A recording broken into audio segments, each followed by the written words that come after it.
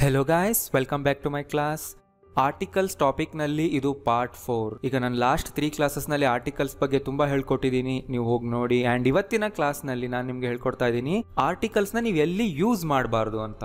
ಅಂದರೆ ಕೆಲವು ಸಿಚುವೇಶನ್ಗಳಲ್ಲಿ ನೀವು ಎ ಆ್ಯಂಡ್ ದ ಯಾವುದು ಯೂಸ್ ಮಾಡಬಾರ್ದು. ಯಾವುವು ಅನ್ನೋದನ್ನ ಹೇಳ್ಕೊಡ್ತೀನಿ. And at school at a school at the school ಏನು ಡಿಫ್ರೆನ್ಸ್ ಇದೆ? ಯಾವುದನ್ನು ಯಾವಾಗ ಯೂಸ್ ಮಾಡಬೇಕು ಅನ್ನೋದನ್ನ ಹೇಳ್ಕೊಡ್ತೀನಿ. ಅದೇ ಥರ ನೀವು ಅಲ್ಲಿ ತುಂಬ ವರ್ಡ್ಸ್ ಹಾಕ್ಬೋದು. ಹಾಸ್ಪಿಟಲ್ ಹಾಕ್ಬೋದು ಕಾಲೇಜ್ ಹಾಕ್ಬೋದು ಯೂನಿವರ್ಸಿಟಿ ಹಾಕ್ಬೋದು. ಸೊ ಅವಾಗ ನಿಮಗೆ ಡಿಫ್ರೆನ್ಸ್ ಎಲ್ಲ ಕ್ಲಿಯರ್ ಆಗುತ್ತೆ. ತುಂಬ ಎಕ್ಸಾಂಪಲ್ಸ್ ಜೊತೆ ನಾನು ಹೇಳ್ಕೊಡ್ತೀನಿ. ಕರೆಕ್ಟಾಗಿ ನೀವು ಇಂಗ್ಲೀಷ್ ಮಾತಾಡಬೇಕು, ಬರಿಬೇಕು ಅಂದರೆ ಈ ವಿಡಿಯೋ ಸೀರೀಸ್ನಲ್ಲಿ ಎಲ್ಲ ವೀಡಿಯೋಸ್ ನೋಡಬೇಕು ಎಂಡ್ವರೆಗೂ ನೋಡಬೇಕು. ಆ್ಯಂಡ್ ತುಂಬ ಜನ ನೀವೇನು ಮಾಡ್ತೀರಾ, ಒಂದೇ ದಿನ ಎರಡು ಮೂರು ವೀಡಿಯೋಸ್ ನೋಡ್ತೀರಾ. ಆ ಥರ ನೋಡಬೇಡಿ. ಕನ್ಫ್ಯೂಷನ್ ಆಗುತ್ತೆ. ಎವ್ರಿ ಡೇ ನಾನು ಅಪ್ಲೋಡ್ ಮಾಡ್ತಾ ಇದ್ದೀನಿ at six o'clock evening ಆದ್ದರಿಂದ ನೀವು ಪ್ರತಿದಿನ ಒಂದೇ ವಿಡಿಯೋ ನೋಡಿ, ಅವತ್ತಿನ ವಿಡಿಯೋ ಮಾತ್ರನೇ ನೋಡಿ. ನೀವು ಪೆಂಡಿಂಗ್ ಇಟ್ಕೊಂಡ್ರೆ ನಿಮಗೆ ತುಂಬ ಹೆವಿ ಆಗುತ್ತೆ ಬರ್ಕೊಳ್ಳೋದಕ್ಕೂ ಪ್ರಾಕ್ಟೀಸ್ ಮಾಡೋದಕ್ಕೂ. ರೈಟ್ ಓಕೆ ಫಸ್ಟ್ ನಾನು ಒಂದು ವಿಷಯ ಕ್ಲಿಯರ್ ಮಾಡ್ತೀನಿ. ನಿನ್ನೆ ಕ್ಲಾಸ್ನಲ್ಲಿ ಸ್ವಲ್ಪ ಜನ ಕನ್ಫ್ಯೂಷನ್ ಬಂದಿತ್ತು ಅನಿಸುತ್ತೆ. ಈಗ ನೋಡಿ. ಮೌಂಟೇನ್ ಅಂದ್ರೇನು? ಕಾಮನ್ ನೌನ್ ಸೊ ವರ್ಲ್ಡಲ್ಲಿ ತುಂಬ ಮೌಂಟೇನ್ಸ್ ಇದೆ. ಎಲ್ಲದಕ್ಕೂ ನಾವು ಮೌಂಟೇನ್ ಅಂತಲೇ ಕರಿತೀವಿ. ಇದೊಂದು ಕಾಮನ್ ನೇಮ್ ನಾವು ಒಂದು ಪರ್ಟಿಕ್ಯುಲರ್ ಮೌಂಟೇನ್ ಬಗ್ಗೆ ಮಾತಾಡ್ತಿದ್ದೀವಿ ಅಂದಾಗ ನಾವು ದ ಮೌಂಟೇನ್ ಅಂತ ಹಾಕ್ಬೋದು. ಏನು ತಪ್ಪಿಲ್ಲ ಇಲ್ಲಿ. ಅಲ್ವಾ? ಬಟ್ ಎವ್ರೆಸ್ಟ್ ಅಂದ್ರೇನು? ಇದು ಪ್ರಾಪರ್ ನೌನ್ ಅಂದರೆ ಒಂದು ಮೌಂಟೇನ್ಗೆ ಇಟ್ಟಿರೋ ಹೆಸರು. ಇಲ್ಲಿ ನೀವು ದ ಹಾಕಕ್ಕೆ ಬರಲ್ಲ. ಬಟ್ ದ ಹಿಮಾಲಯಾಸ್ ಹಾಕ್ಬೋದು. ಯಾಕೆಂದರೆ ಅದು ಮೌಂಟೇನ್ ರೇಂಜ್ ಅದು. ತುಂಬ ಮೌಂಟೇನ್ಗಳು ಅಲ್ಲಿ ಅಲ್ಲಿದೆ. ಸೊ ಆ ಥರ ಗ್ರೂಪ್ಸ್ಗೆ ನಾವು ಹಾಕಬಹುದು. ಆ್ಯಂಡ್ ಇನ್ನೊಂದು ನೋಡಿಲಿ. ಕಂಟ್ರಿ ಅಂದ್ರೇನು? ಕಾಮನ್ ನೌನ್ ದ ಕಂಟ್ರಿ ಅಂತ ಹೇಳ್ಬೋದು. ಆದರೆ ಇಂಡಿಯಾ ಅನ್ನೋದು ಪ್ರಾಪರ್ ನೌನ್ ಇಲ್ಲಿ ದ ಇಂಡಿಯಾ ಅಂತ ಹೇಳಕ್ಕೆ ಬರಲ್ಲ. ದ ಇಂಡಿಯಾ ಹಾಕಬಾರ್ದು. ಅಲ್ವಾ? ಬಟ್ ದ ಸನ್ ಅನ್ನೋದೇನಾಗಿದ್ರೆ common ನೋನ, proper ನೋನ? So the sun ಅನ್ನೋದು ಅವೆರಡಕ್ಕೂ ಸೇರಲ್ಲ. ಇದನ್ನು ನಾವು ಯೂನೀಕ್ ನೇಮ್ ಅಂತ ಕರಿತೀವಿ. ಅಂದರೆ ಏನು? ವರ್ಲ್ಡ್ನಲ್ಲಿ ಕೆಲವು ಥಿಂಗ್ಸ್ ಯೂನೀಕ್ ಆಗಿದೆ. The sun, the earth, the moon, okay? The stars. ಈ ಪೂರ್ತಿ ವರ್ಲ್ಡ್ನಲ್ಲಿ ಅಥವಾ ಯೂನಿವರ್ಸ್ನಲ್ಲಿ ಇರುವಂತಹ ಯೂನೀಕ್ ಥಿಂಗ್ಸ್ಗೆ ನಾವು ದ ಹಾಕ್ತೀವಿ. ಯಾಕೆಂದರೆ ಅವು ಯೂನೀಕ್ ನೇಮ್ಸ್ ಎಲ್ಲರಿಗೂ ಗೊತ್ತಿರುತ್ತೆ, ಅವ್ರಿಗೂ ಗೊತ್ತಿರುತ್ತೆ.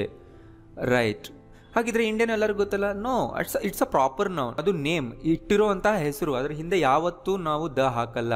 ಈಗ ನೋಡಿ, ತುಂಬ ಕಂಟ್ರೀಸ್ ಇದೆ ಇಂಡಿಯಾ ಅನ್ನೋದು ಒಂದು ಕಂಟ್ರಿ ಇದೆ ಹೆಸರು. ತುಂಬ ಮೌಂಟೇನ್ಸ್ ಇದೆ ಎವರೆಸ್ಟ್ ಅನ್ನೋದು ಒಂದು ಮೌಂಟೇನ್ ಬಟ್ ಎರಡು ಮೂರು ಸನ್ ಇದೆಯಾ?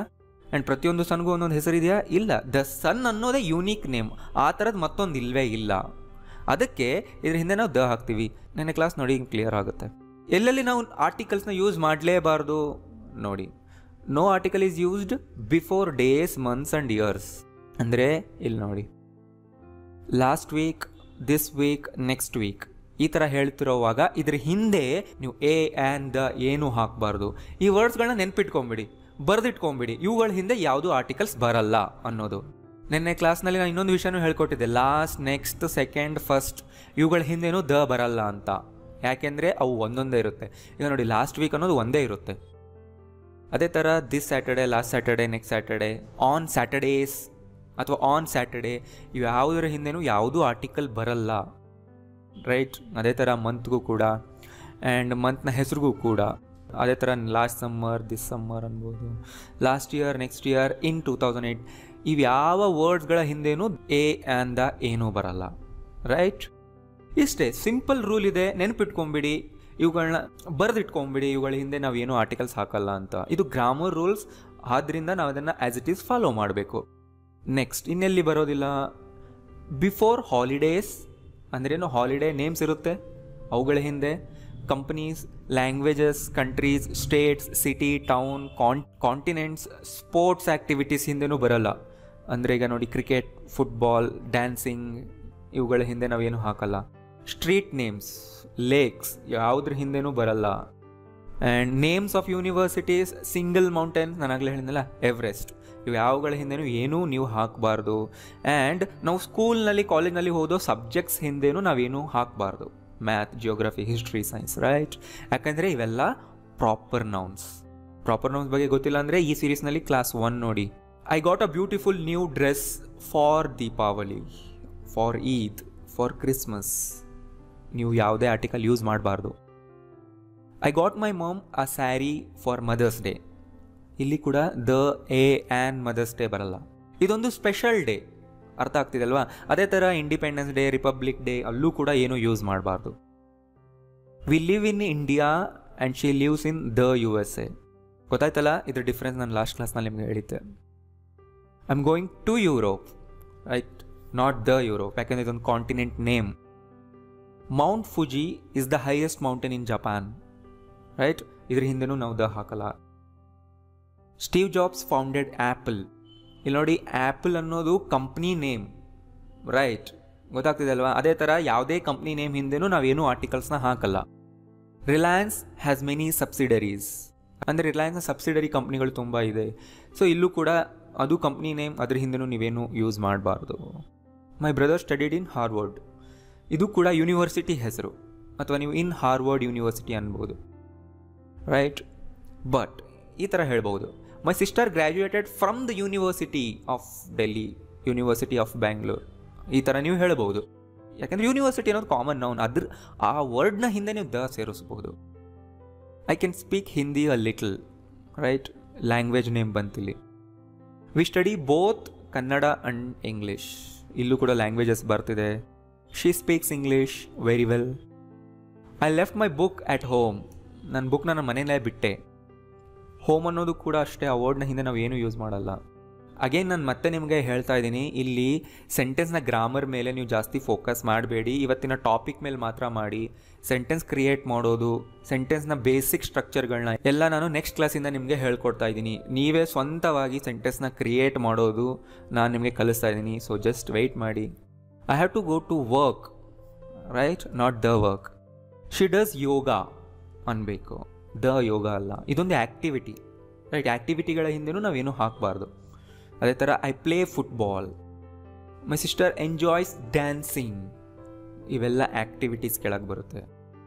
I went to Church Street yesterday ಇದೊಂದು ಸ್ಟ್ರೀಟ್ನ ಹೆಸರು. ರೈಟ್ ಸೊ ಇಲ್ಲೆಲ್ಲೂ ನೀವು ಯಾವುದೇ ಆರ್ಟಿಕಲ್ಸ್ನ ಯೂಸ್ ಮಾಡಬಾರ್ದು. ನೆಕ್ಸ್ಟ್ ಮತ್ತೆಲ್ಲಿ ಬರಲ್ಲ? ಬಿಫೋರ್ ಆ್ಯಕ್ರೋನಿಮ್ಸ್ ಆ್ಯಕ್ರೋನಿಮ್ಸ್ ಅಂದರೆ ಶಾರ್ಟ್ ಫಾರ್ಮ್ಸ್ ಲೆಟರ್ಸ್ ಬಟ್ ಅದನ್ನು ನಾವು ಒಂದು ವರ್ಡ್ ಥರ ಓದ್ತೀವಿ. ಇಲ್ಲಿ ನೋಡಿ. ಯುನೆಸ್ಕೋ ಅಂತೀವಲ್ವಾ? ಸೊ ಇಲ್ಲಿ ನಾವು ದ ಯುನೆಸ್ಕೋ ಅಂತ ಹೇಳಕ್ಕೆ ಬರಲ್ಲ. ಇನ್ನೊಂದು ವರ್ಡ್ ಕೇಳಿದ್ದೀರಾ? ಅಬ್ರಿವಿಯೇಷನ್ ಅಂತ? ಅಬ್ರಿವಿಯೇಷನ್ ಅಂದರೂ ಕೂಡ ಶಾರ್ಟ್ ಫಾರ್ಮ್ ವರ್ಡ್ಗಳ ಫಸ್ಟ್ ಲೆಟ್ರಿಂದ ಮಾಡಿರ್ತಾರೆ. For example A T M A T M ಅನ್ನೋದು ಅಬ್ರಿವಿಯೇಷನ್ ಎ ಟಿ ಎಮ್ನ ನಾವು ಆಟಮ್ ಅಂತ ಓದಲ್ಲ ಅಲ್ವಾ? ಪ್ರತಿಯೊಂದು ಲೆಟರ್ನ ಇಂಡಿವಿಜುವಲ್ ಆಗಿ ಓದ್ತೀವಿ. ಎ ಟಿ ಎಂ ಅಂತ, ಎಸ್ ಬಿ ಐ, ರೈಟ್. ಅವುಗಳನ್ನ ಅಬ್ರಿವಿಯೇಷನ್ಸ್ ಅಂತ ಕರಿತೀವಿ. ಬಟ್ ಯಾವ ಶಾರ್ಟ್ ಫಾರ್ಮ್ಸ್ನ ನಾವು ಒಂದು ವರ್ಡ್ ಥರ ಓದ್ತೀವಿ ವರ್ಡ್ ಥರ ಪ್ರೊನೌನ್ಸ್ ಮಾಡ್ತೀವಿ. ನೋಡಿ U N E S C O ಅಂತ ಯಾರೂ ಹೇಳಲ್ಲ ಇದನ್ನು ಯುನೆಸ್ಕೋ ಅಂತಾರೆ. ಇವುಗಳಿಗೆ ನಾವು ಆಕ್ರೋನಿಮ್ಸ್ ಅಂತ ಕರಿತೀವಿ. ಸೊ ಆಕ್ರೋನಿಮ್ಸ್ ಹಿಂದೆ ದ ಬರಲ್ಲ. ಅದೇ ಥರ AIDS A I D S ಅನ್ಬೋದು ಬಟ್ ಬಟ್ ಇದನ್ನು ವರ್ಡ್ ಆಗಿ ಪ್ರೊನೌನ್ಸ್ ಮಾಡ್ತಾರೆ. ಅದರಿಂದ ಇದನ್ನು ಆಕ್ರೋನಿಮ್ ಅಂತಾರೆ. ಆದ್ದರಿಂದ ಇದನ್ನು ಎ ಆ್ಯಂಡ್ ದ ಏನೂ ಹಾಕಬಾರ್ದು ನೀವು. ನ್ಯಾಟೋ ಅಂತ ಕರೀತಾರೆ. ಕಾರ್ಪ್ ಅಂದರೆ ಏನು? ಕಾರ್ಪೊರೇಷನ್. ಕೋ ಅಂತ ಹೇಳ್ತಾರೆ. ಕಂಪನಿ. ರೈಟ್ ಸೊ ಇವೆಲ್ಲ ಶಾರ್ಟ್ ಫಾರ್ಮ್ಸ್. ಆದರೂ ಕೂಡ ನಾವು ವರ್ಡ್ ಥರ ಪ್ರೊನೌನ್ಸ್ ಮಾಡ್ತೀವಿ. ಅವುಗಳಿಗೆ ಆಕ್ರೋನಿಮ್ಸ್ ಅಂತೀವಿ. ಅವುಗಳ ಹಿಂದೆ ಯಾವುದೇ ಆರ್ಟಿಕಲ್ನ ನೀವು ಯೂಸ್ ಮಾಡಬಾರ್ದು. ದ ಎ ಟಿ ಎಂ ಅನ್ಬಹುದು ನೀವಲ್ಲಿ. At the A T M ಅಂತ ಹೇಳ್ಬಹುದು ನೀವಲ್ಲಿ. ಮತ್ತೆಲ್ಲಿ ಯೂಸ್ ಮಾಡಬಾರ್ದು articles? With some fixed expressions ಅಂದರೆ ಕೆಲವು ಫಿಕ್ಸ್ಡ್ ಎಕ್ಸ್ಪ್ರೆಷನ್ಸ್ ಇರುತ್ತೆ. ನಾನು ಹೇಳ್ತೀನಿ ಈಗ. ಅವುಗಳ ಜೊತೆ ನೀವೇನು ಆರ್ಟಿಕಲ್ನ ಯೂಸ್ ಮಾಡಬೇಡಿ. ಇಲ್ಲಿ ನೋಡಿ. To school to university to college to church jail bed hospital sea town so ಈ ವರ್ಡ್ಗಳು ಇವೆಲ್ಲ ಫಿಕ್ಸ್ಡ್ ಆಗಿರುತ್ತೆ. ನೀವು ಟೂ ಹಾಕಬೇಕು ಅಂದರೆ ಹಾಕಿ ಬಟ್ ಟೂ ಮತ್ತು ಈ ವರ್ಡ್ಗಳ ಮಧ್ಯದಲ್ಲಿ ನೀವು ಎ ಆ್ಯಂಡ್ ದ ಏನೂ ಹಾಕಬಾರ್ದು. When we are talking in general ಹಾಂ, ದ ಸ್ಕೂಲ್ ಹಾಕ್ಬೋದು, ದ ಯೂನಿವರ್ಸಿಟಿ ಹಾಕ್ಬೋದು. ನೆಕ್ಸ್ಟ್ ಸ್ಲೈಡ್ನಲ್ಲಿ ಹೇಳ್ತೀನಿ ಡಿಫ್ರೆನ್ಸ್ ಹೇಳ್ತೀನಿ. ಬಟ್ ಇನ್ ಜನರಲ್ ಮಾತಾಡುವಾಗ ನಾವು ಹಾಕಲ್ಲ. ಅದೇ ಥರ at school university college church sea the ಯಾವಾಗ ಹಾಕ್ತೀವಿ? ಒಂದು ನಿಮಿಷ ನಾನು ಹೇಳ್ತೀನಿ. ಬಟ್ ಜನರಲ್ ಆಗಿ ನೋಡಿ, ಇಲ್ಲೆಲ್ಲೂ ಬರಲ್ಲ. ಅದೇ ಥರ ನೀವು ಇನ್ ಹಾಕಿದ ಮೇಲೂ ಕೂಡ ಬರಲ್ಲ. ಫ್ರಮ್ ಹಾಕಿದ ಮೇಲೂ ಕೂಡ ಬರಲ್ಲ. ಔಟ್ ಆಫ್ ಬೆಡ್ ಅಥವಾ ಔಟ್ ಆಫ್ ಹಾಸ್ಪಿಟಲ್ ಅಂತ ಹೇಳ್ಬೋದು ಅದೇ ಥರ ಆ್ಯಟ್ ಹೋಮ್ ಅನ್ಬೇಕು. ಟು ಹೋಮ್ ಅನ್ಬೇಕು, ಫ್ರಮ್ ಹೋಮ್ ಅಥವಾ ಲೀವ್ ಹೋಮ್ ಅನ್ಬೇಕು. ಹೋಮ್ ಇಂದೇನು ಕೂಡ ಎ ಆ್ಯಂದ ಯಾವತ್ತೂ ಬರೋದೇ ಇಲ್ಲ. ಅದಂತೂ ಫಿಕ್ಸ್ ಆಗಿ ಇಟ್ಕೊಂಬಿಡಿ ಹೋಮ್ ಹಿಂದೆ ಎ ಆ್ಯಂಡ್ ದ ಮೂರು ವರ್ಡ್ ಬರಲ್ಲ. ಅದೇ ಥರ ಲೀವ್ ಸ್ಕೂಲ್ ಅನ್ಬೋದು, ಲೀವ್ ಯೂನಿವರ್ಸಿಟಿ, ಲೀವ್ ಕಾಲೇಜ್ ಅಂದರೆ ಬಿಡೋದು. ಸ್ಟಾರ್ಟ್ ಅನ್ಬೋದು, ಕಾಲೇಜ್, ಸ್ಕೂಲ್, ಯೂನಿವರ್ಸಿಟಿ ಅಥವಾ enter school, enter university, enter college ಅನ್ಬೋದು. ನಾ ಹೈಲೈಟ್ ಮಾಡಿರೋ ವರ್ಡ್ಸ್ ಮತ್ತು ಮುಂದೆ ಇರೋ ವರ್ಡ್ಸ್ ಮಧ್ಯದಲ್ಲಿ ಎ ಆ್ಯಂಡ್ ದ ಬರೋದಿಲ್ಲ. ಇವುಗಳು ಫಿಕ್ಸ್ಡ್ ಎಕ್ಸ್ಪ್ರೆಷನ್ ಇದೇ ಥರನೇ ಇರಬೇಕು ಈ ವರ್ಡ್ಗಳು. ಅದರಿಂದ ಬರೆದಿಟ್ಕೊಂಬಿಡಿ. ನೆಕ್ಸ್ಟ್ ಹಾಂ, ಈಗ ನೋಡಿ ಇಲ್ಲಿ ಡಿಫ್ರೆನ್ಸ್ ಕೇರ್ಫುಲ್ ಆಗಿ ಕೇಳಿಸ್ಕೊಳ್ಳಿ. We are referring to the place as a general idea ನಾನೀಗ ನಿಮಗೆ ಹಿಂದಿನ ಸ್ಲೈಡ್ನಲ್ಲಿ ಲಿಸ್ಟ್ ಕೊಟ್ಟೆ, ನೋಡಿ. ಆ ಎಲ್ಲ ಪ್ಲೇಸ್ಗಳು ಒಂದು ಜನರಲ್ ಆಗಿ ನಾವು ಕನ್ಸಿಡರ್ ಮಾಡಿದರೆ ನಾವು ಎ ಆ್ಯಂಡ್ ದ ಹಾಕಲ್ಲ. ಅಂದರೆ, ಇಲ್ಲಿ ನೋಡಿ. ನಾನೀಗ ಕಾನ್ವರ್ಸೇಷನ್ ಮಾಡ್ತಾ ಇದ್ದೀನಿ ನಮ್ಮ ಫ್ರೆಂಡ್ ಜೊತೆ, ಕೇಳ್ತಾ ಇದ್ದೀನಿ. ವೇರ್ ಆರ್ ಯು ಅಂತ. ಅಂದರೆ ಅವನು ಎಲ್ಲಿದ್ದಾನೆ ನನಗೆ ಗೊತ್ತಿಲ್ಲ ಆದ್ದರಿಂದ ನಾನು ಕೇಳಿದೆ. ಅದಕ್ಕೆ ಅವನು ಆನ್ಸರ್ ಮಾಡ್ತಾನೆ ಐ ಆಮ್ ಅಟ್ ಸ್ಕೂಲ್ ಅಂತ. ಅಂದರೆ ನಾನೀಗ ಸ್ಕೂಲ್ನಲ್ಲಿದ್ದೀನಿ ಅಂತ. ಸೊ ಇಲ್ಲಿ ಅವನು ಕನ್ವೇ ಮಾಡಬೇಕಾಗಿರೋದು ಯಾವ ಸ್ಕೂಲ್ ಅಂತ ಅಲ್ಲ. ಜಸ್ಟ್ ಅವನಿರೋ ಪ್ಲೇಸ್ ಅವನಿರೋ ಜಾಗ. ಅರ್ಥ ಆಗ್ತದೆ? ಪರ್ಟಿಕ್ಯುಲರ್ ಆಗಿ ಯಾವ ಸ್ಕೂಲ್ ಅನ್ನೋದಲ್ಲ. ಕೇವಲ ಅವನಿರೋ ಜಾಗ ನನಗೆ ಹೇಳಬೇಕು ಅಂದ್ಕೊಂಡಿದ್ದಾನೆ ಆದ್ದರಿಂದ ಆ್ಯಟ್ ಸ್ಕೂಲ್ ಅಂತ ಹೇಳ್ತಾನೆ. ಅಥವಾ ಈ ಥರನೂ ಹೇಳ್ಬೋದು I am at a school ಅಂದರೆ ನಾನು ಒಂದು ಸ್ಕೂಲ್ನಲ್ಲಿ ಇದ್ದೀನಿ ಅಂತ. ಯಾವ ಸ್ಕೂಲ್ ಅನ್ನೋದು ನನಗೆ ಇಂಪಾರ್ಟೆಂಟ್ ಅಲ್ಲ, ಯಾವ ಜಾಗ ಅನ್ನೋದು ಇಂಪಾರ್ಟೆಂಟ್ ಆದ್ರಿಂದನೇ ಇಲ್ಲಿ ದ ಹಾಕಲ್ಲ. ದ ಬಿಟ್ಟು ನೀವು ಎ ಹಾಕಿ ಅಥವಾ ಏನು ಹಾಕಬೇಡಿ. ಆಗ ಏನು ಮೀನಿಂಗ್ ಕೊಡುತ್ತೆ ಅಂದರೆ ಎನಿ ಸ್ಕೂಲ್ ಅನ್ನೋದು ಕೊಡುತ್ತೆ. ಅಂದರೆ ಜಾಗ ಇಂಪಾರ್ಟೆಂಟ್ ಆಗಿರುತ್ತೆ ವಿಚ್ ಸ್ಕೂಲ್ ಅನ್ನೋದು ಇಂಪಾರ್ಟೆಂಟ್ ಆಗಿರಲ್ಲ ಇಲ್ಲಿ. ಅದರಿಂದ ಇದನ್ನು ಜನರಲ್ ಐಡಿಯಾ ಅಂತಾರೆ. ಜನರಲ್ ಪ್ಲೇಸ್ ಸ್ಕೂಲ್ ಅನ್ನೋದೀಗ ಈ ಸಿಚುವೇಶನಲ್ಲಿ ಸ್ಕೂಲ್ ಅನ್ನೋದು ಒಂದು ಜನರಲ್ ಪ್ಲೇಸ್ ಯಾವುದೋ ಒಂದು ಜಾಗ. ನನಗೆ ಇಂಪಾರ್ಟೆಂಟ್ ಅಲ್ಲ. ರೈಟ್ ಇದೇ ಥರ ಹಾಸ್ಪಿಟಲ್ಗೂ ಕೂಡ. ಈಗ ಯಾರಾದರೂ ಐ ಮಟ್ ಹಾಸ್ಪಿಟಲ್ ಅಂತ ಹೇಳಿದ್ರೆ ಅರ್ಥ ಯಾವುದೋ ಒಂದು ಹಾಸ್ಪಿಟಲ್ ಅಂತ ನಿನಗೆ ಅದ್ರ ಬಗ್ಗೆ ಯಾವ ಹಾಸ್ಪಿಟಲ್ ಅನ್ನೋದು ಇಂಪಾರ್ಟೆಂಟ್ ಅಲ್ಲ, ನಿನಗೆ ಜಾಗ ಇಂಪಾರ್ಟೆಂಟ್ ನಾನಿರೋ ಜಾಗ ನಿನಗೆ ಹೇಳ್ತಾ ಇದ್ದೀನಿ ಅಂತ. ರೈಟ್ ಬಟ್ ಇನ್ನೊಂದು ಸಿಚುವೇಶನ್ ನೋಡಿ ಇಲ್ಲಿ. ನಾನೀಗ ನನ್ನ ಫ್ರೆಂಡ್ಗೆ ಕೇಳ್ತೀನಿ. Have you visited Kiran school to meet the principal ಅಂದರೆ, ನಾನು ನನ್ನ ಫ್ರೆಂಡ್ ಮೊದಲೇ ಮಾತಾಡ್ಕೊಂಡಿದ್ವಿ. ನಾನು ನನ್ನ ಫ್ರೆಂಡಿಗೆ ಹೇಳಿದ್ದೆ, ಇವತ್ತು ನೀನು ಕಿರಣ್ನ ಸ್ಕೂಲ್ಗೆ ಹೋಗು ಪ್ರಿನ್ಸಿಪಾಲ್ನ ಮೀಟ್ ಮಾಡಿ ಬಾ ಅಂತ. ಈಗ ಸ್ವಲ್ಪ ಹೊತ್ತಾಯಿತು. ನಾನು ಅವನಿಗೆ ಫೋನ್ ಮಾಡಿ ಕೇಳ್ತಾ ಇದ್ದೀನಿ. Have you visited Kiran school ಪ್ರಿನ್ಸಿಪಾಲ್ನ meet ಆಗೋದಕ್ಕೆ ಕಿರಣ್ ಸ್ಕೂಲ್ಗೆ ಹೋಗಿದ್ಯಾ ನೀನು? ನಾ ಕೇಳ್ತಾ ಇದ್ದೆ. ನನಗೆ ಗೊತ್ತು ಅವನು ಇವತ್ತು ಸ್ಕೂಲ್ಗೆ ಹೋಗ್ತಾನೆ ಅಂತ. ಅದಕ್ಕೆ ಅವನು ಆನ್ಸರ್ ಮಾಡ್ತಾನೆ. Yes I am at the school ನಾವು ಸೊ ಇಲ್ಲಿ ನೋಡಿ ದ ಸ್ಕೂಲ್ ಅಂತ ಹೇಳ್ತಾ ಇದ್ದಾನೆ. ಅಂದರೆ ಅರ್ಥ ಪರ್ಟಿಕ್ಯುಲರ್ ಆಗಿ ಆ ಸ್ಕೂಲ್ ಅಂತ ಹೇಳ್ತಿದ್ದಾನೆ. ಯಾವ ಸ್ಕೂಲ್ ನನಗೂ ಗೊತ್ತಿದೆ ಅದು ಯಾವುದು ಅಂತ. ಇಲ್ಲಿ ಜಾಗನೂ ಇಂಪಾರ್ಟೆಂಟ್ ಆ್ಯಂಡ್ ಯಾವ ಸ್ಕೂಲ್ ಅನ್ನೋದು ಇಂಪಾರ್ಟೆಂಟ್ ಆದ್ರಿಂದ ದ ಅಂತ ಹಾಕಿ ಎಂಫಸೈಸ್ ಮಾಡಿ ಹೇಳ್ತಾ ಇದ್ದಾನೆ. ಯಾಕೆಂದ್ರೆ ಇಬ್ಬರಿಗೂ ಗೊತ್ತು ಯಾವ ಸ್ಕೂಲ್ ಅಂತ. ಅಂಡ್ ಅವನು ನನಗೆ ಸ್ಪೆಸಿಫಿಕಲಿ ಹೇಳಬೇಕು ಅನ್ಕೊಂಡಿದ್ದಾನೆ ಇಲ್ಲಿ. ನೀ ಹೇಳಿದ್ದೆಲ್ಲ ಸ್ಕೂಲ್ ಅದೇ ಸ್ಕೂಲ್ಗೆ ನಾನು ಬಂದಿದ್ದೀನಿ. I am at the school now ಅಂತ. ಅಂದರೆ ನನಗೂ ಗೊತ್ತಿದೆ, ಅವನಿಗೂ ಗೊತ್ತಿದೆ. ಇನ್ ಜನರಲ್ ಯಾವುದೋ ಸ್ಕೂಲ್ ಅಲ್ಲ ಅದು. ಇಲ್ಲಿ ನನಗೆ ಯಾವ ಪ್ಲೇಸಲ್ಲಿ ಇದ್ದಾನೆ ಅನ್ನೋದು ತುಂಬ ಇಂಪಾರ್ಟೆಂಟ್ ಅದಕ್ಕೆ ಅವ್ನು ನನಗೆ ಹೇಳ್ದ ದ ಸ್ಕೂಲ್ ಅಂತ, ಅಷ್ಟೇ. ಇದೇ ಥರ university, college, prison, jail, hospital, church, ಇವೆಲ್ಲದ್ರ ಹಿಂದೆ ನೀವು ಎ, ದ ಹಾಕಿದ್ರೆ ಅಥವಾ ಆ್ಯನ್ ಹಾಕಿದ್ರೆ ಅಥವಾ ಏನೂ ಹಾಕಲಿಲ್ಲ ಅಂದರೆ ನಾನೀಗ ಹೇಳ್ಕೊಟ್ಟಿರೋ ಡಿಫ್ರೆನ್ಸೇ ಅಲ್ಲೂ ಅಪ್ಲೈ ಆಗುತ್ತೆ. ರೈಟ್ ಅಷ್ಟೇ. ಅದಾಯ್ತಲ್ವಾ? ಸೊ ಕನ್ಫ್ಯೂಸ್ ಆಗ್ತಿದ್ರೆ ಡೋಂಟ್ ವರಿ ಈ ವಿಡಿಯೋ ಎಲ್ಲ ನೋಡಿದ ಮೇಲೆ ಮತ್ತೊಂದು ಸರಿ ನೀವು ನೋಡಿ. ಅವಾಗ ಕ್ಲಿಯರ್ ಆಗುತ್ತೆ. ಆ್ಯಂಡ್ ಬರ್ಕೊಳ್ಳಿ. ಬರ್ಕೊಳ್ಳೋವಾಗಲೂ ತುಂಬ ವಿಷಯಗಳು ಕ್ಲಿಯರ್ ಆಗುತ್ತೆ. ಆ್ಯಂಡ್ ಇನ್ನಷ್ಟು ಕಡೆ ನೋಡಿ fixed expression by day by hour ಅಂತೀವಿ. ಅಂದರೆ ಇದು ಪೇಮೆಂಟ್ ಮಾಡೋವಾಗ ಅಥವಾ ಸ್ಯಾಲ್ರಿ ತೊಗೊಳ್ಳೋವಾಗ ಈ ಥರ ಮಾತಾಡ್ತಾರೆ. I am paid by day ಅಂತ ಹೇಳ್ಬೋದು ಅಂದರೆ ನನಗೆ ದಿನ ದಿನ ಸ್ಯಾಲ್ರಿ ಕೊಡ್ತಾರೆ ಬೈ ಡೇ ಅಥವಾ I am paid by hour ಅಂತೀವಿ. ಅಂದರೆ ನನಗೆ ಆರ್ ಬೇಸಿಸ್ನಲ್ಲಿ ಸ್ಯಾಲ್ರಿ ಕೊಡ್ತಾರೆ. ಪ್ರತಿ ಗಂಟೆಗೆ ಇಷ್ಟು ಅಂತ ಸ್ಯಾಲ್ರಿ ಕೊಡ್ತಾರೆ. ಆವಾಗ ನಾವು ಈ ಥರ ಎಕ್ಸ್ಪ್ರೆಷನ್ ಯೂಸ್ ಮಾಡ್ತೀವಿ. By day by hour by week ನಾನು ನಿಮಗೆ ಬೈನ ಹೇಳ್ಕೊಡೋವಾಗ ಇನ್ನೂ ಡೀಟೇಲಾಗಿ ಹೇಳ್ಕೊಡ್ತೀನಿ. ಬಟ್ ಇಲ್ಲಿ ನಾನು ಹೇಳ್ತಾ ಇದ್ದೀನಿ, ಇಲ್ಲಿ ಯಾವುದೇ ಆರ್ಟಿಕಲ್ ಯೂಸ್ ಮಾಡಬಾರ್ದು ಅಂತ. ಅಟ್ ನೈಟ್ ಅನ್ಬೇಕು. ನೈಟ್ಗೆ ತುಂಬ ಸರಿ ಆ್ಯಟ್ ಅನ್ನೋ ವರ್ಡೇ ಯೂಸ್ ಆಗೋದು ನಾವು ನೈಟ್ನ ಯೂಸ್ ಮಾಡ್ತಿದ್ರೆ. ಪೂರ್ತಿ ಡ್ಯೂರೇಷನ್ ಯೂಸ್ ಮಾಡಿದರೆ ಬೇರೆ ವರ್ಡ್ ಬರುತ್ತೆ, ನಾನು ಹೇಳ್ಕೊಡ್ತೀನಿ. ಬಟ್ ಈ ಎಕ್ಸ್ಪ್ರೆಷನ್ನಲ್ಲಿ ದ, ಎ ಆ್ಯನ್ ಏನೂ ಬರಲ್ಲ. ಆನ್ ಫುಟ್ ಅನ್ಬೇಕು. ಅಂದರೆ ನಾವು ವಾಕ್ ಮಾಡೋವಾಗ ಈ ಥರ ಹೇಳ್ತೀವಿ. By radio, by phone, by letter, by mail, by email, by text ಅಂತ ಹೇಳಬೇಕು. ಯಾವಾಗ ಅಂದರೆ ಅದರ ಮೂಲಕ ನಾನೇನೋ ಒಂದನ್ನು ಟ್ರಾನ್ಸ್ಫರ್ ಮಾಡ್ತೀನಿ ಅಥವಾ ಹೇಳ್ತೀನಿ ಅನ್ನೋವಾಗ.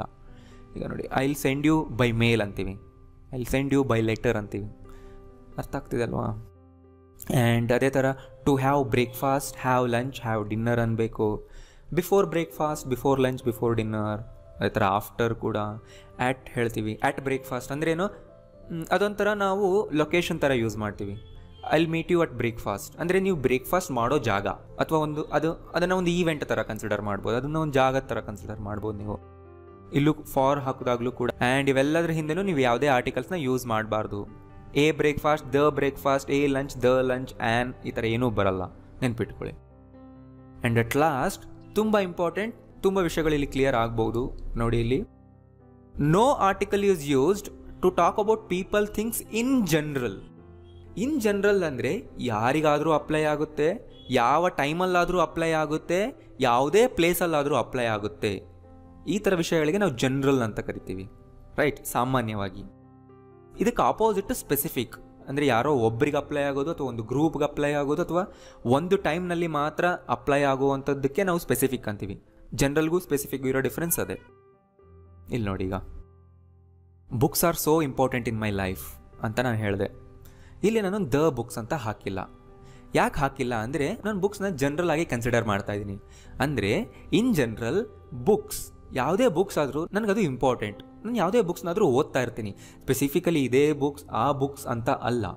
ಆದ್ದರಿಂದ ಅದರ ಹಿಂದೆ ನಾನು ದ ಹಾಕಿಲ್ಲ. ದ ಯಾವಾಗ ಹಾಕ್ತೀವಿ ಅಂದರೆ ಸ್ಪೆಸಿಫಿಕಲಿ ಕೆಲವು ಬುಕ್ಸ್ಗಳ ಬಗ್ಗೆ ನಾವು ಮಾತಾಡ್ತಿದ್ರೆ. ಇಲ್ಲಿ ನೋಡಿ.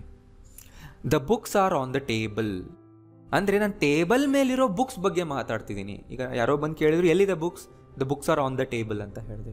ಅಂದರೆ ಟೇಬಲ್ ಮೇಲಿರೋ ಬುಕ್ಸ್ ಬಗ್ಗೆ ಮಾತ್ರ ನಾನು ಮಾತಾಡ್ತಿದ್ರೆ ಅದು ಸ್ಪೆಸಿಫಿಕ್ ಬುಕ್ಸ್ ಆಯಿತು. ಸ್ಪೆಸಿಫಿಕಲಿ ನಾನು ಆ ಬುಕ್ಸ್ ಬಗ್ಗೆನೇ ಮಾತಾಡ್ತೀನಿ ಆದ್ದರಿಂದ ದ ಬುಕ್ಸ್ ಅಂತ ಪಾಯಿಂಟ್ ಮಾಡಬೇಕು ಆ ಕಡೆಗೆ.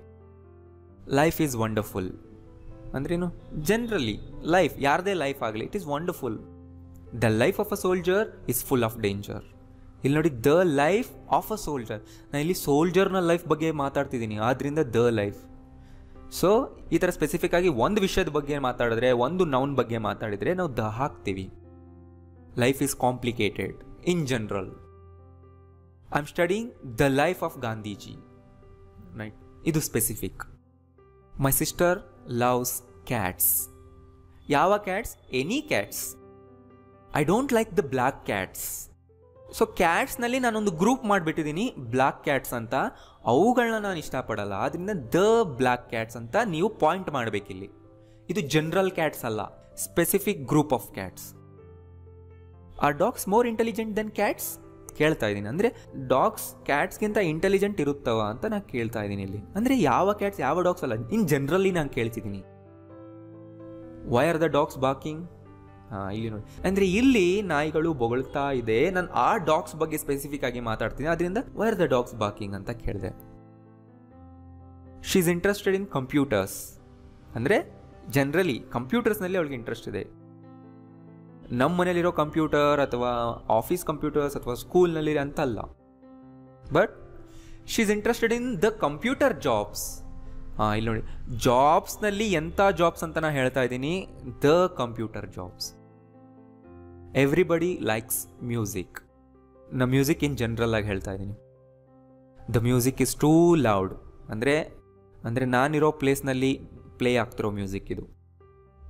I love chocolates where are the chocolates so ಇಲ್ಲಿ ನಾನು ನಿನಗೆ ಕೊಟ್ಟನಲ್ಲ ಆ ಚಾಕ್ಲೇಟ್ಸ್ ಎಲ್ಲಿ? Where are the chocolates most birds can fly ಅಲ್ವಾ? ಅಂದರೆ majority of the birds can fly ನಾನು ಬರ್ಡ್ಸ್ನ ಜನರಲ್ ಆಗಿ ಹೇಳ್ತಾ ಇದ್ದೀನಿ. Most of the children got very tired so ಇಲ್ಲಿ ಮೋಸ್ಟ್ ಆಫ್ ದ ಅಂತ ಬಂತು. ಸೊ ಅದೇ ಡಿಫ್ರೆನ್ಸ್ ನೋಡಿ. ಮೋಸ್ಟ್ ಚಿಲ್ಡ್ರನ್ ಅಥವಾ ಮೋಸ್ಟ್ ಬರ್ಡ್ಸ್ ಯಾವಾಗ ಹೇಳ್ತೀವಿ? ಮೋಸ್ಟ್ ಆಫ್ ದ ಚಿಲ್ಡ್ರನ್ ಅಂತ ಯಾವಾಗ ಹೇಳ್ತೀವಿ? ಮೋಸ್ಟ್ ಆಫ್ ದ ಬರ್ಡ್ಸ್ ಅಂತ ಯಾವಾಗ ಹೇಳ್ತೀವಿ? ಸೊ ಇಲ್ಲಿ ಮೋಸ್ಟ್ ಆಫ್ ದ ಚಿಲ್ಡ್ರನ್ ಅಂದರೆ ಎಲ್ಲ ಚಿಲ್ಡ್ರನ್ ಬಗ್ಗೆ ನಾವು ಮಾತಾಡ್ತಿಲ್ಲ. ಯಾವುದೋ ಒಂದು ಈವೆಂಟ್ನಲ್ಲಿ ಇದ್ದಂತಹ ಚಿಲ್ಡ್ರನ್ ಅದರಲ್ಲಿ ಬಹಳಷ್ಟು ಜನ ಚಿಲ್ಡ್ರನ್ ಅಂದರೆ ಇಲ್ಲಿ ಏನಾಯಿತು? ಕ್ಲಾಸಿಫೈ ಆಗೋಯ್ತು. ಅಲ್ವಾ? ಕೆಲವು ಜನ ಅಂತ ಗ್ರೂಪ್ ಆಗೋಯ್ತು. ಅದರಿಂದ ಮೋಸ್ಟ್ ಆಫ್ ದ ಇಲ್ಲಿ ಮೋಸ್ಟ್ ಬರ್ಡ್ಸ್ ಯಾಕಂತ, ಯಾಕೆ ಬಂತು? ಅಂದರೆ ನಾನು ಬರ್ಡ್ಸ್ನ ಇನ್ ಜನರಲ್ ಆಗಿ ಹೇಳ್ತಾ ಇದ್ದೀನಿ ಆದ್ದರಿಂದ ಅದೇ ಡಿಫ್ರೆನ್ಸ್ ಸೊ ನಿಮ್ಗೆ ಯಾವ್ದಾದ್ರು ಡೌಟ್ ಬಂದರೆ ಮೋಸ್ಟ್ ಪ್ಲಸ್ ನೌನ್ ಹಾಕಬೇಕಾ ಅಥವಾ most of the plus noun ಹಾಕಬೇಕಾ ಅಂದರೆ ಇದೇ ಡಿಫ್ರೆನ್ಸ್ ನೀವು ಇನ್ ಜನರಲಿ ಹೇಳ್ತಿದ್ರೆ ಮೋಸ್ಟ್ ನೌನ್ ಹಾಕಿ, ಆ ಕ್ಲಾಸ್ನಲ್ಲಿ ಕೆಲವು ಜನರಿಗೆ ಮಾತ್ರ ನೀವು ಪಾಯಿಂಟ್ ಔಟ್ ಮಾಡ್ತೀರಿ ಮೋಸ್ಟ್ ಆಫ್ ದ ಹಾಕ್ಬಿಟ್ಟು ನೌನ್ ಹಾಕಿ. ಶುಗರ್ ಈಸ್ ಫ್ಯಾಟನಿಂಗ್ ಅಂದರೆ ಅರ್ಥ ಶುಗರ್ ನಮ್ಮನ್ನು ಫ್ಯಾಟ್ ಮಾಡುತ್ತೆ. ರೈಟ್ ಅದು ಫ್ಯಾಟ್ ಮಾಡೋ ಎಲಿಮೆಂಟ್ ಅದರಿಂದ ಫ್ಯಾಟನಿಂಗ್ ಅಂತಾರೆ ಅದನ್ನು. ಅಂದರೆ ಇನ್ ಜನರಲ್ ಆಗಿ ನಾನು ಶುಗರ್ ಬಗ್ಗೆ ಮಾತಾಡ್ತಿದ್ದೀನಿ. ಸ್ಪೆಸಿಫಿಕ್ ಶುಗರ್ ಅಲ್ಲ. Any sugar could you pass the sugar ಅಂದರೆ ನಿನ್ನ ಹತ್ರ ಇದೆಯಲ್ಲ ಶುಗರ್ ಅದನ್ನು ಪಾಸ್ ಮಾಡು. ಇಲ್ಲಿ specific sugar right so could ಯಾಕೆ ಬಂತು? ಡೋಂಟ್ ವರಿ ನಾನು ಅದರ ಮೇಲೆ ಸಪ್ರೇಟಾಗಿ ಮುಂದೆ ವೀಡಿಯೋ ಮಾಡ್ತೀನಿ. ಇವತ್ತಿನ ಟಾಪಿಕ್ ನಿಮಗೆ ಅರ್ಥ ಆಯ್ತಲ್ವಾ? ಆ್ಯಂಡ್ ನಾನು ನೆಕ್ಸ್ಟ್ ಕ್ಲಾಸ್ನಲ್ಲಿ ತುಂಬ ಇಂಪಾರ್ಟೆಂಟ್ ವಿಷಯನ ಹೇಳ್ಕೊಡ್ತಾ ಇದ್ದೀನಿ. ಟಿ ಹೆಚ್ ಇ ದ ಅನ್ಬೇಕಾ, ದಿ ಅನ್ಬೇಕಾ? ಯಾವಾಗ ದ ಅನ್ಬೇಕು, ಯಾವಾಗ ದಿ ಅನ್ಬೇಕು. ಇದನ್ನು ನಾನು ನೆಕ್ಸ್ಟ್ ಕ್ಲಾಸ್ನಲ್ಲಿ ನಿಮಗೆ ಎಕ್ಸ್ಪ್ಲೈನ್ ಮಾಡ್ತಿದ್ದೀನಿ ವಿತ್ ಎಕ್ಸಾಂಪಲ್ಸ್ ಆ ಕ್ಲಾಸ್ನ ನೀವು ಮಿಸ್ ಮಾಡಲೇಬೇಡಿ. ಆ್ಯಂಡ್ ಆ ಕ್ಲಾಸ್ನಲ್ಲೇ ಪೂರ್ತಿ ಆರ್ಟಿಕಲ್ಸ್ ಮೇಲೆ ನಿಮಗೆ ವರ್ಕ್ ಕೊಡ್ತಿದ್ದೀನಿ ಅದು ಕೂಡ ಇಂಪಾರ್ಟೆಂಟ್ ಮಿಸ್ ಮಾಡಬೇಡಿ, ನೋಡಿ. ಆ್ಯಂಡ್ ಈ ವಿಡಿಯೋ ಇಷ್ಟ ಆಗಿದ್ರೆ ಲೈಕ್ ಮಾಡಿ. ಯಾರ್ಯಾರಿಗೆ ಕ್ಲಾಸಸ್ಗೆ ಹೋಗಿ ಕಲಿಯೋಕ್ಕಾಗಲ್ಲ, ಯಾರು ತುಂಬ ಕಷ್ಟಪಡ್ತಾ ಇದ್ದಾರೆ ಅಂತ ನಿಮ್ಗೇನಾದ್ರು ಗೊತ್ತಾದರೆ ಅವರಿಗೆಲ್ಲ ಈ ವಿಡಿಯೋಸ್ನ ಶೇರ್ ಮಾಡ್ತಾ ಇರಿ. ಫೇಸ್ಬುಕ್ನಲ್ಲಿ ವಾಟ್ಸಪ್ನಲ್ಲಿ ಥ್ಯಾಂಕ್ ಯು